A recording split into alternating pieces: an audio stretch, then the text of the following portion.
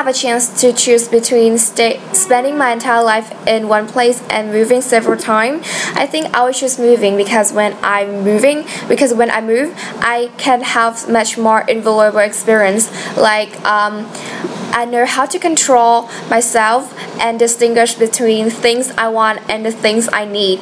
Um, I will have to assimilate myself to a new community.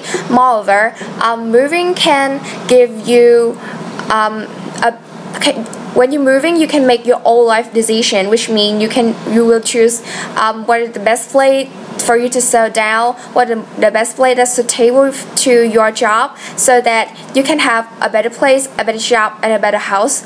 Um, moving also give you and also widen your knowledge. Like um, you will have to learn new custom and new language and it will raise your awareness into a higher levels